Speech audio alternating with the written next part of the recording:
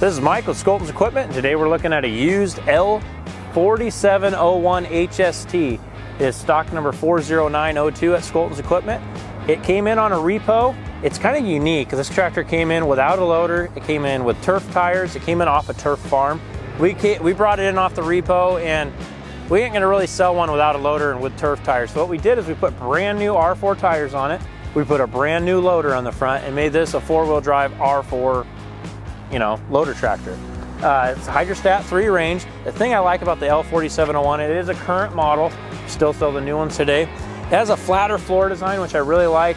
It's got the bigger loader, it's got the LA765 loader, so you're gonna be able to lift quite a bit more. Uh, it's got the bigger R4 tires. It's bigger everything. It's got factory cruise control with this lever right here. Push it forward, it controls that pedal. I really like that. Overall, it's a really smooth running tractor, very nice shape. If you're looking for a tractor, it's only got a little over 400 hours. If you're looking for a tractor with low hours, with brand new tires and a brand new loader, look no further.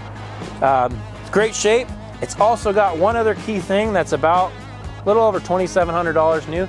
It's got two rear remotes on it, which is really uncommon for a tractor this size, but it's got it. It's a big savings if you're buying this used versus a new one. Uh, check us out at scholtensequipment.com where this tractor is pictured and priced as we speak.